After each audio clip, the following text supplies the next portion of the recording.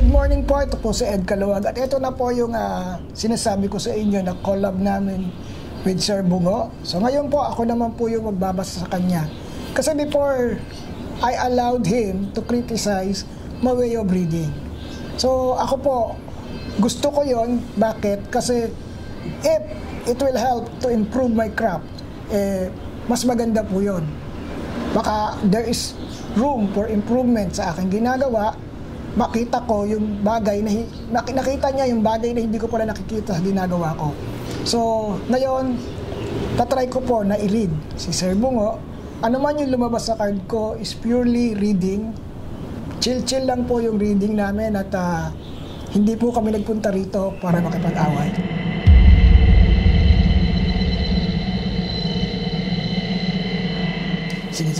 Ano mo siya, i-shuffle mo. Paano Paano ka? Kahit pa paano mo siya, paano siya magka-connection sa iyo? Ganun lang.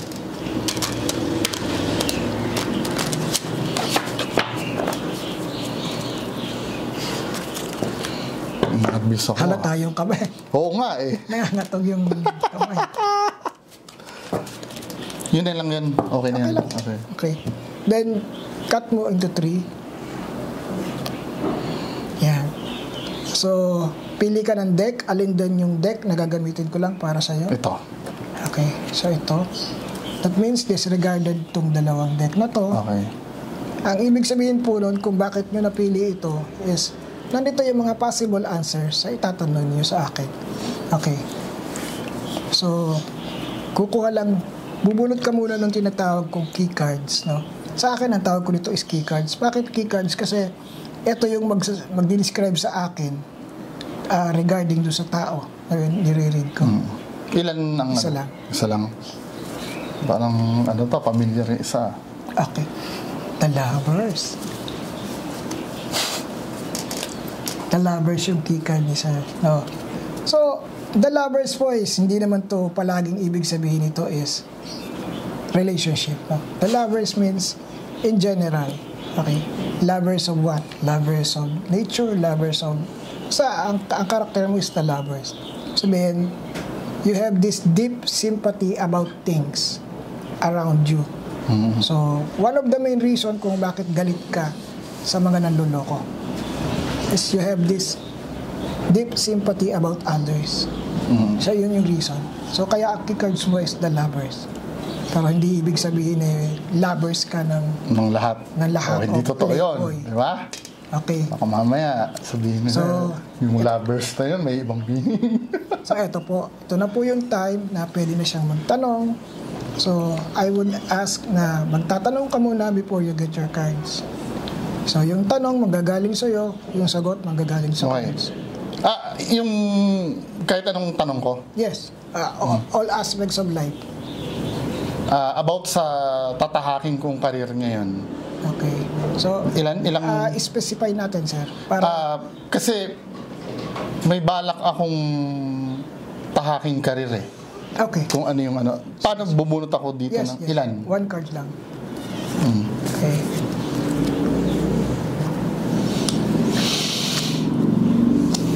So yung spread ko po, ang tawag po dyan is the Celtic Cross spread. Okay. So question mo is, actually hindi siya, hindi, yung question mo is general about Mm. the career, tatahakin mo. Okay, una, yung sinasabi po ng cards, the career is good, kaya lang beware of the people around. Tandaan mo, meron doon sa tao na makakasalamuha mo o makakasama mo during that career, nahihilahin ka pababa. Merong isa doon. Ano to sa future to? Yes. Okay. It's in the future. Kasi yung career naman na sinasabi mo, most likely, eh, kung tinatahak mo na continuously, Mm. nandyan ka na, ibig sabihin, you, you encounter several people Okay. around. Pero meron isa na hahatak sa'yo pababa. Okay. Yung cross card, this implies ano yung solution. It could be the, the hadlang or the solution. At this time, ang sinasabi ng cards, the career you pick, yung sinasabi mong career, would be yung source, magiging source. Ito yung magiging source of income. I mean, may- I mean, malaki yung may tutulong sa buhay mo. itong career na sinasabi mo. Okay. Kaya lang still, nasa ilalim pa rin nun yung tao na gusto kang ibagsak. Nandyan pa din. Okay, sige, sige, sige. Ka- along the way, hindi ka bibitawan yan. Okay? Then here's, yung next card mo is the Queen of Pentacles. Ah, sad to say, ah, your partner ay hindi siya ganun nag-a-agree dun sa career na to. Ah, okay. Although hindi, sabihin na natin hindi 100% na nag-agree about the career. But Okay. the support is there. Pero hindi ibig sabihin na nag-agree 100%. Okay. So yun yung sinasabi ng cards mo. Why? Bakit ko sinabi yon? Kasi the Queen of Pentacles is in downside position. Okay? Kung ito ay nakagay, nakaayos, meaning everything is in order. Ah, But this time, the card you pick na, na, na lumibas dito is in downside position and it, it pertains to a woman, a partner in life kasi may throne. Ah. Partners in life. It, eh, queen, it meaning castle. If it's in castle, may relationship. ah, Okay? So, yan. Hindi siya ganun agreeable dun sa path. Pero, nagsus- nandun yung support. okay. Okay?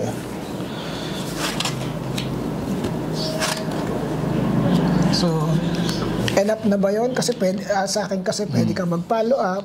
May follow-up ako dito Okay, eh. so follow up tayo. So, may follow up tayo dyan. Ah, mag-spread out ako ng another cards. So, Di- yung follow up question mo, Di ba sabi mo, ano, ah, hindi agree yung, yung partner ko? Tama? Ah, ang gusto kong malaman, kung pag pinurso ko pa rin kahit hindi siya agree, ah, may positive bang kalalabasan yun? Okay. Pero actually dito ha, sabi ko Ah. nga sa'yo, dito, positive siya in a way dahil magiging source.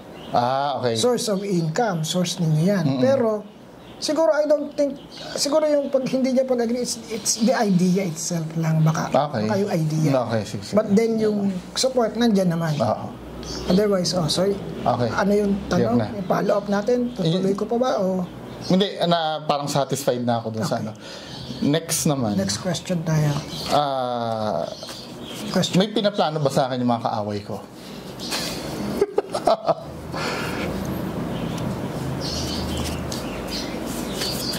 Okay. It's the Ten of Pentacles.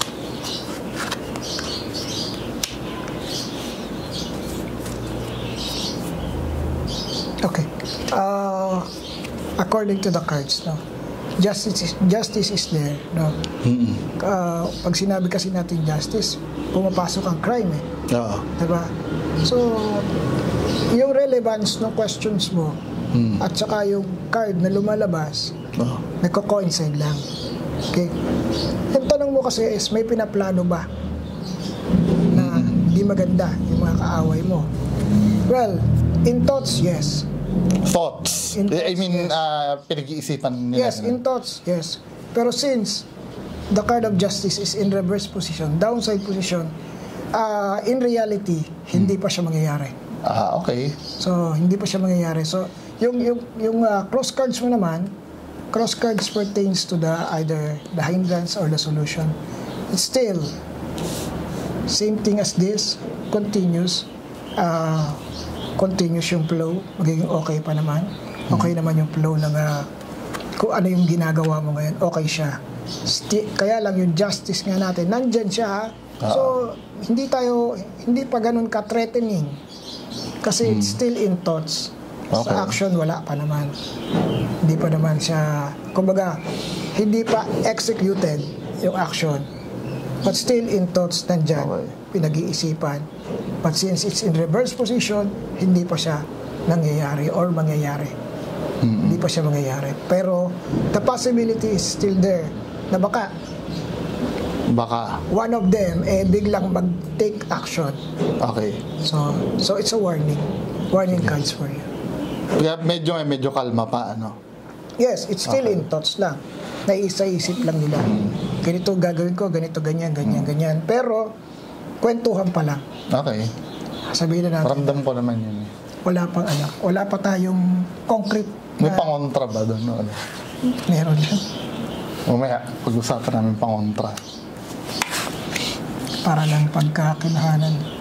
Okay? Okay. Next question. Pwede kong mag-follow up dito. Ang, Pwede, ang pwede. follow up ko dito, kung sila pa rin ba yung mga tao na, or bago na? Ah, ibig sabihin, Kasi uh, meron ako nakaaway before, kung sila pa rin ba hanggang ngayon. okay. Okay na? Okay na. Titingnan ko lang yan. Okay, so dito pa lang sa cards na to, as, ano muna tayo? Picture analogy tayo. May lumalabas dito na may isang crow na may dalawang swords na hawak, no? But yung isa is patay na, meaning quarrel ito. Ah. War to. That's why may patay. Oh, sa, sa ano nila, sa part nila? Yeah. Uy! war to. Kaya ganon, no?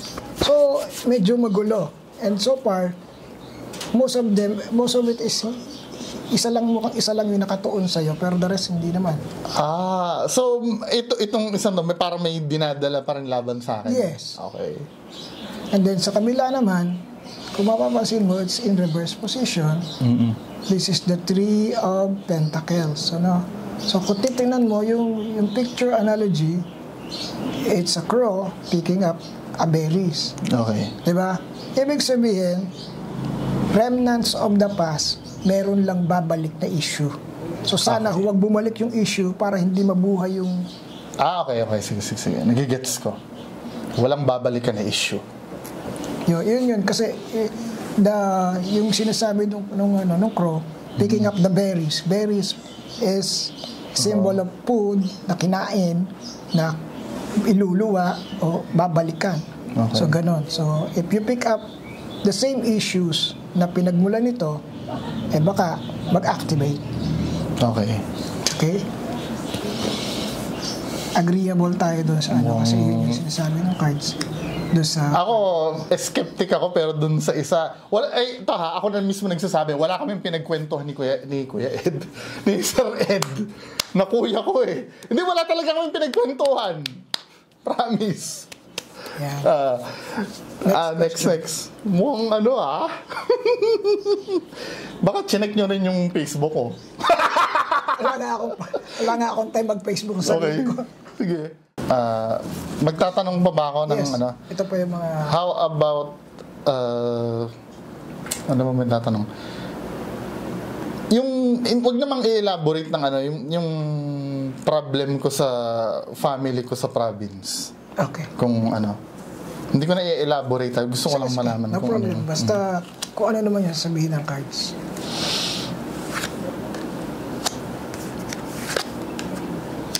Okay. Is it the mother na medyo sumama ang loob? Uy! Hindi ko kinakausap si Sir Ed, ah. Promise! Oh, promise! Alam niyo naman ha, Bungo TV, skeptic ako, di ba? Hindi ko, hindi ko man nakakausap si Kuya Red, promise. Ito po sana, the mother still medyo upset pa up to now. Hindi, although hindi na ganun kalalim yung kanyang ah, pagka, ano, dismaya or sort of Oo. Pero medyo kaila pero tingin ko pahupa naman to na. Promise, hindi ko kinausap si Sir Ed. Baka akala niyo kinakausap ko si Sir Ed, ha? Okay. So ganito po ano. Ito yung unang cards na bunot ninyo. Sabi nga, huwag na natin ilab- elaborate ano. Oo. Pero it has something to do with parang panghihinayang Oo. ni mother sa nangyari. Yes. Sa career, sa tinakbo ng buhay. Yes! Yun. So, Yes. th- th- this card is supposed to be the solution. No? In this reading, this card is supposed to be the solution. Bakit yung crow nakasakay sa wand eh sumisigaw? okay. So, ang sinasabi ng, ng cards is, you have to voice out what is the truth. Kung baga, aminin mo kasi yung mga dapat na inamin mo before na hindi mo na-amin. Okay. Parang ganon. It's more of uh, acceptance do sa sasabihin ni mother. Okay. So, yun yung sinasabi po ng cards. Pero yung yung yung sinasabi mong galit or yung uh, tampo, konti na lang, hindi na siya ganun kalalim. Okay. Pwede ko na siyang kausapin, ganun. Yes. At, eh, Kasi actually, nag-aaway pag ang solution, ang solution is to voice out. Hindi para kasing aatakihin pag kinausap ko eh. Siguro, ano, yung way of, Hindi, siguro ngayon, as nakasulat dito, siguro medyo, yeah, ano na, ano, yeah. Ako, sa tingin ko, kasi Mm. lumabas na yung solution, which is, okay. actually, gusto lang niyang marinig yung side mo in a very calm manner. Oy. Na hindi, Di ko sinasabi kay Sir Ed na lagi akong galit pag kausap kasi ko nanay lumalabas, ko ha. lumalabas kasi, very defensive ka agad. Sa, Ah. lumalabas kasi ganun eh, yun yung ayaw niya. Dinidepensa mo na kaagad, wala pa namang sinasabi. Parang ganun. Ah, or of that okay. kind. So, I think meron ka ng last questions. Ah, magiging maayos kaya yung takbo ng buhay ko next year. Ay, oh, ito na lang pala. Ah, alin ang may magiging kabuluhan ba tong ginagawa ko sa social media? Okay, Yun na lang pala. pick your card.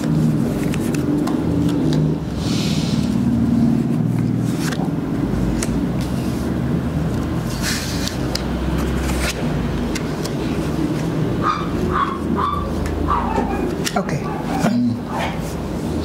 So, the answer yes. Magkakaroon ng kabuluhan. Mm. Kaya lang, another storm will come. Ito galing to sa mga tao din. Okay. Na mga tatamaan siguro. Oo. Kumbaga, mas marami yung pupukol this time kasi mas lalawak yung abot ng channel. Oo. Mas lalawak, mas marami ang makakaunawa ng totoo and then mas marami naman yung pupukol sa'yo. Kasi matatamaan ano. The rest ng tinatamaan. Okay. Okay, dito naman yung Four of Pentacles na sinasabi dito. Yan, kita mo yung crow. Hawak niya yung pentacles, nasa paan niya, nasa hawak niya. So, the pentacles is, ano to, a symbolism ng mga tao na magkakaroon ng mas malalim na connection sa'yo. Mm. So, tandaan mo yan, apat yung, yung, ah, yung, ta, yung pentacles, apat yung tao na magkakaroon ng malalim na connection sa'yo Oo. as you go along with your advocacy. Mm. So, kung sino-sino yan, hindi pa sinasabi ng card. Ha? Kung ano-anong walks of life sila, hindi pa rin sinasabi ng Okay. cards. But then, the last part is the Two of Pentacles in the infinite sign. Mm. Ibig sabihin, the cycle itself, the cycle will continue. Sabihin, ang, ang, ang sinasabi ng cards, tuloy-tuloy mo lang yan kasi during the cycle, may mababago. Ah, okay. So, yung advocacy mo, mukhang okay naman. mag-e-end up sa maganda naman. Ah, very good. Yan. Ako si Bungo, Bungo TV, you know. Ah, ang content ko kasi sa social media is kalimitan magde-debunk ng mga ganitong uri. 'Di ba? Pero although na skeptic ako doon sa iba kasi kanina pa ako nandito kay Sir Ed eh, pati yung mga ibang cli- client niya nag-observe ako. 'Di ba? Nung sa una, ang ang sinasabi ko, may power talaga si Sir Ed ang power na tinutukoy ko doon yung ah, maintindihan ng tao para ma-reduce yung stress katulad nung nung naobserbahan ko kanina na may may inano siya yung parang may kinausap siya kanina tapos ano iko-content ko na lang sa iba no pero doon sa nangyari dito 'di ba sinusumpa ko talaga hindi talaga kami nag-usap promise kasi yun ang unang suspetsya ko, di ba? Pagka may nire-react akong video tungkol dito, baka mamaya may kinausap, may inano. Pero this time, I don't know. Siguro kung, kung nagkataon yon pwede naman magka, magka, nagkataonan, talagang nahulaan niya lang. Di ba? Pero yung may may ano talaga eh na hindi ko hindi ko maintindihan eh. may, meron talaga na nahulaan si sir na, na hindi ko maintindihan. Promise talaga, promise. Siguro, ako magiging skeptic pa rin ako. Pwede ko sabihin na na natsambahan niya. Pero napakaliit ang percentage na matsambahan niya. Yun lang naman. Diba? Pero still skeptic pa rin ako. Pero, yun nga, hindi ko lang talaga ma-explain. For now. Ito po, again si Ed Kaluwag at ah, natapos ko na po yung reading ko with Sir Bungo. Yes, tama naman po si Sir na yung pagiging skeptic niya is always applied. At ah, ganun din po yung sinasabi ko sa ibang tao. Kaya lang, what I'm trying to do here is, binasa ko lang po kung ano yung pinakita ng cards, walang, ah, wala akong dinagdag, wala akong binawas.